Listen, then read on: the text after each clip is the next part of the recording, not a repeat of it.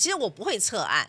因为就像我刚刚讲的，我我提出了这个法案最重要的目的，我是希望能够大法官这个宪法法庭的制度能够更加的健全，对不对？我们大法官当时就是宪法规定，大法官有十五个人，基本上是要求是要满额运作。我们不是说是可以缺额运作，而且缺额变成只有少数的七八个人就可以去运作这个宪法法庭，这是完全不合理的，也不对的啊。那在其他国家，对于宪法法庭的运作都有规定最低的大法官出席门槛，还有最低做成呃宪法判决的门槛。但是我们现在台湾的宪法诉讼法就是少了。这样的一个规定，我们没有很清楚的规定啊，至少要有多少人来参与呃大法官的审理，有多少人可以做成大法官的判决，对，所以我们基本上在补漏洞啊，啊，就是因为看到了法律已经出现这样的漏洞，那我们当然呃要修法啊，把这样的一个漏洞可以填补起来，所以我一直在讲说，我们其实做的事情就是司法改革。对，而这个司法改革是一个很高层次的一个司法改革。那么，呃，它并不是只是在讲的说法官过劳死，这些非常非常的重要。但是我常常讲说，一个呃宪法法庭大法官所做的事宪案，它是会影响到我们国家的根本，对，呃，人民的这个基本权利的保障。呃，所以对于这个最高的这个司法机关，我们进行宪法改革，呃，司法改革，这有什么？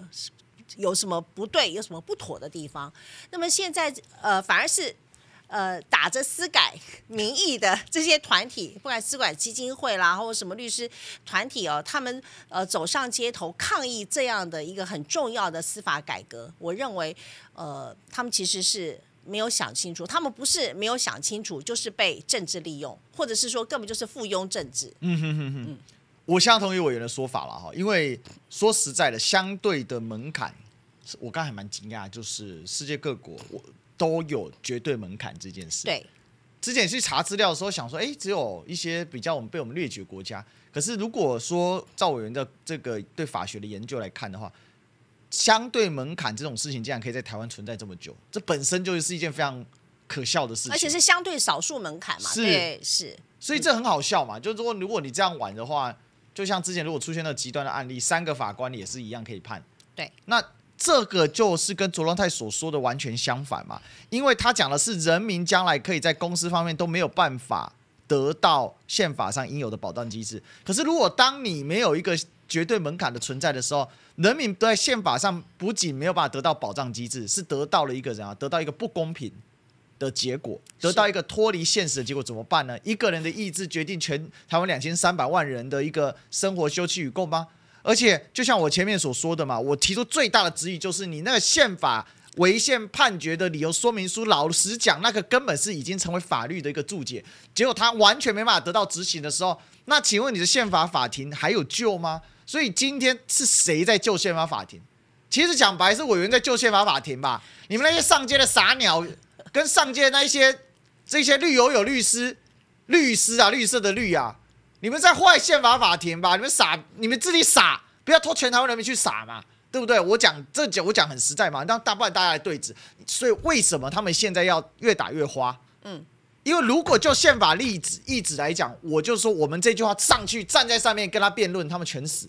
他们来下面来一千个律师也没有用，为什么？我就那我就问，那请问宪法违宪判决现在？这一条到底有没有得到充分执行？如果没有，那请问为什么这个违宪判决可以做出来？是，所以是违宪判决对，还是是立法院错？那如果是立法院错，那你现在赶快冲进立法院，我同意你再行使一次太阳花，对不对？你这次叫法律花，好不好？叫绿玫瑰，随便你爱怎么取，你就冲进去啊，还是叫常春藤也可以，随便你。哦，你冲进去啊，然后直接霸占所有委员会。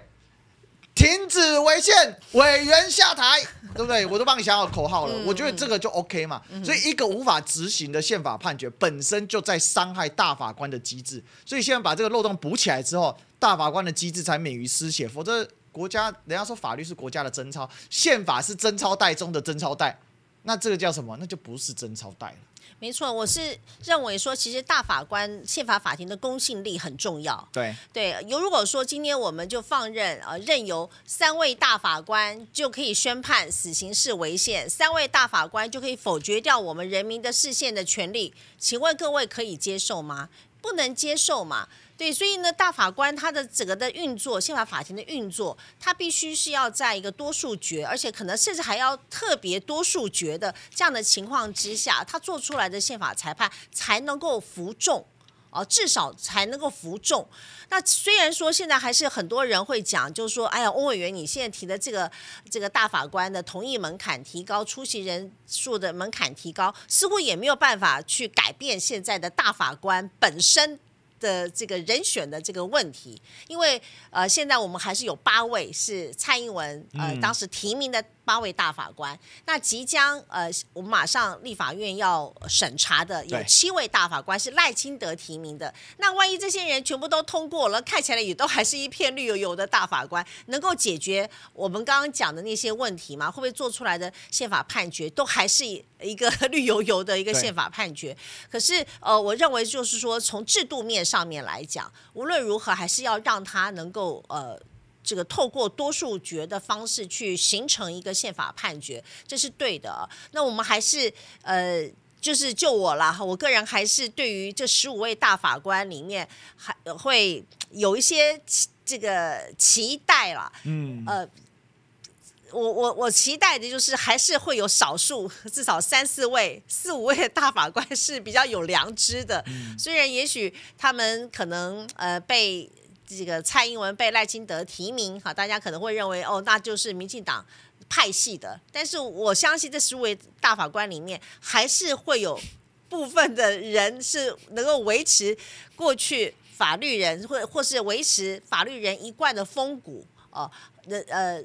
依照自己的专业良知来做审判，所以这个多数决还是有它的好处，呃，避免就是说你少数的大法官哈，他真的很容易就是就是偏颇啊，就是少数的专断。没有错，所以这个他们就是因为在宪法诉讼法或者在宪法的主战场上讨不到便宜嘛，所以现在开始改用恐吓威胁的方式是什么呢？就是罢免哦。对，我们可以看到呢，真的开始又搞，而且很好玩，他偏要去罢免黄宏伟、罗廷伟，还有李彦秀委员。我心里想，这跟他们的主诉求宪法诉讼法是有什么关系？而且为什么是这三个人？怎么挑的？我在想，可能陆续增加当中。对，其实他们有搞一个那个就是罢免网站，然后你去看那个罢免网站很好玩哦，还有全国北部、中部、东部，原本有南部，然后南部不见了，嗯为什么？因为南部没有绿委，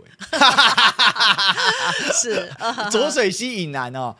云林只有一席嘛，丁学忠嘛是国民党的嘛，再来都是绿的嘛，全绿的嘛。对。然后因为不分区不能罢免，所以不能列啊。啊，我们虽然他们现在恨得牙痒痒的，说为什么不分区不能罢免？那我建议他们要不要也提个修法好了，以后来罢免不分区。好，可以啊，我其实我同意啊。啊，我其实我同意，我觉得部分区也是可以罢免的，没有说党意就最大嘛，对不对？党意也是要受民意监督。不过我是这么建议啦，如果他们真的要这样改的话，那就赶快开放，把单一选区改成复数选区。嗯，那如果不要改成复数选区，请把大选区改小选区。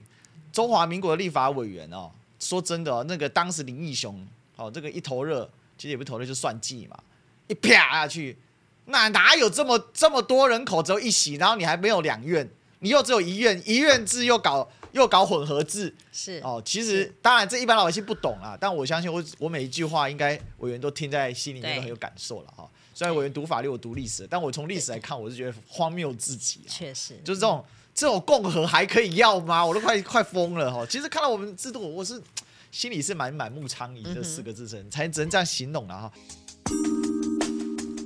姐妹们总烦恼脸上细纹干燥与暗沉。现在起，跟我一起放心交给 KS Royal Face 皇家颜值逆时奇迹系列。KS Royal Face 皇家颜值逆时奇迹系列，它添加五种 EGF，专门防止肌肤老化，强化皮肤修复，增加肌肤弹性水嫩，轻松抚平皱纹，换回青春自信。KS Royal Face。皇家颜值逆时奇迹，护肤露、全效精华、精华霜，即刻启动冻龄密码。